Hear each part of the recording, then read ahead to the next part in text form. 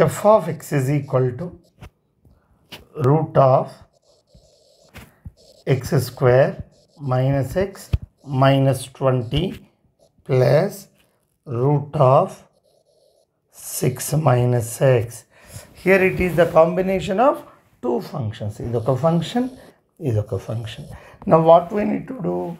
Find the domain separately.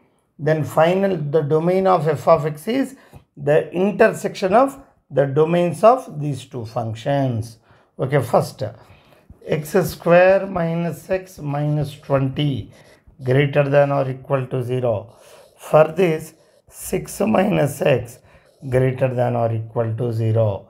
Now here factors are x square minus 5x plus 4x minus 20 greater than or equal to 0 x minus 5 into x plus 4 greater than or equal to 0 what are the roots?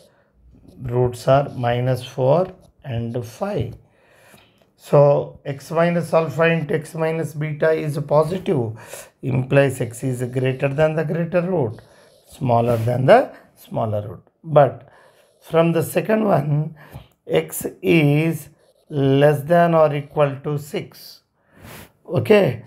So root of 6 minus x is defined when x is less than or equal to 6 now on the entire number line it is minus 4 it is 5 it is 6 for the first function domain is less than or equal to minus 4 greater than or equal to 5 for the second function less than or equal to 6 therefore the common part the final domain is minus infinity to minus 4 closed union closed 5 to 6 the common part.